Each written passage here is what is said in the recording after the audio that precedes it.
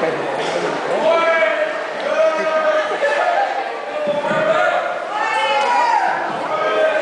I wish my Walmart was like that.